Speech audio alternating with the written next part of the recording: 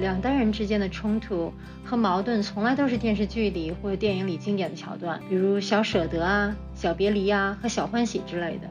艺术来源于生活，也许现在看视频的你也经常被孩子气得跳脚，或者因为内卷的压力呢，要天天跟他们斗智斗勇，催着他们学这学那，怕他们以后在社会上不能脱颖而出。也或许你经常被自己和另一半的父母唠叨的头大，暗自下定决心。等我以后老了，绝对不能像他们一样招自己孩子这么烦。欢迎你来到沙发时间。在这一期视频里呢，我想结合一位印度智者的话和当下流行的断舍离这个理念，来给大家分享一个全新的视角，去面对两代人的冲突，以及解决常见的三个矛盾的方法。这是我第二个视频，我自己有十多年的教育工作背景。平时接触来自不同国家的学生，自己也有处于不同年龄段的小孩。开这个叫“沙发时间”的 YouTube 频道，就是希望在轻松的环境里展开与他人的对话，探讨如何促进和家人以及周围人的关系，完善和提高自我。我会每周推出相关话题的分享。如果你想定期观看，请点击订阅并打开小铃铛。回到主题，《小欢喜》里面，高中生英子以前乖巧懂事，又是个学霸。但在离婚母亲的高压下呢，就要去自杀。看电视的观众朋友肯定都能够旁观者清，这明明是英子的妈妈单方面将自己的愿望强塞给英子，把她当做自己的附属品。那到底如何解决父母和青春期孩子的问题呢？印度的智者萨古鲁用一个大象的比喻来回答了这个问题。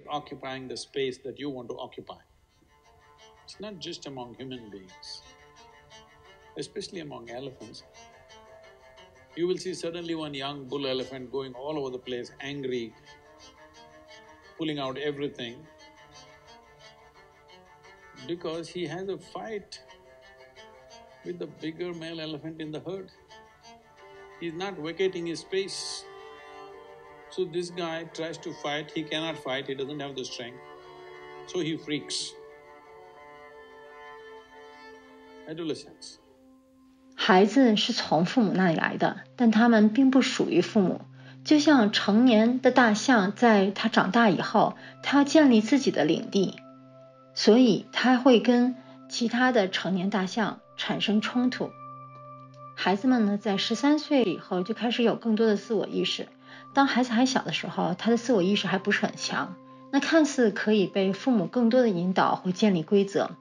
但是当孩子开始有更强的自我意识以后，身体都比父母强大了、高大了，那就像是一个成年的大象要开始争夺领地的时候了。这里呢，我想用断舍离这个理念来解读萨古鲁对如何面对两代人冲突的回答。首先呢，断是指断绝想买回家但实际上并不需要的东西。在这里呢，我可以把它解读成是说。父母不要强加给孩子父母认为需要做的，但也许并不适合孩子的东西。比如说，我外国的同事，呃，总说中国的父母给他的刻板印象就是孩子一定要学钢琴，所以父母内卷的焦虑就是觉得自己孩子不学钢琴就输在起跑线上了。但是孩子并不一定适合。比如我知道有的孩子就喜欢在乐团里面去练习乐器，啊，但是不喜欢自己弹钢琴。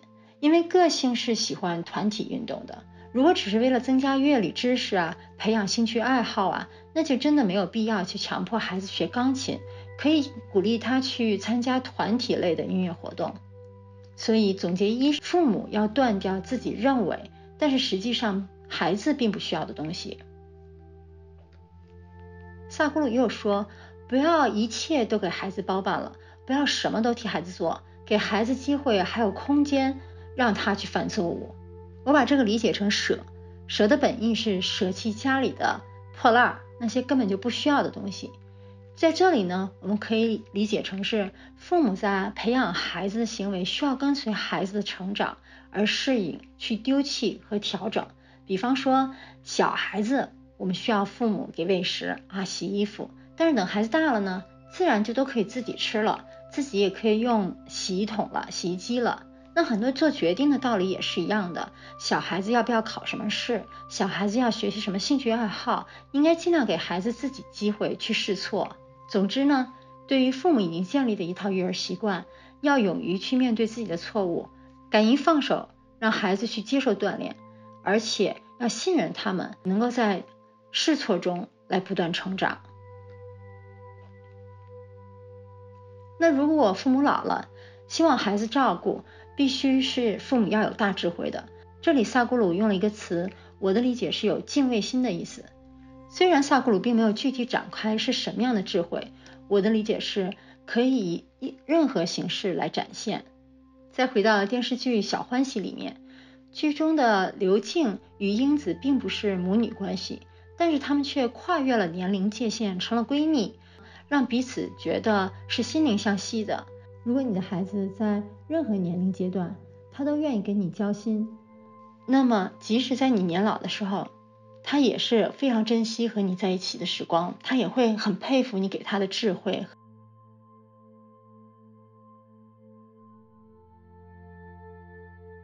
所以我们来做个总结，在我们在做取舍之前，我们可以考虑一下呃孩子的需求，不要强加给他并不适合他的选择。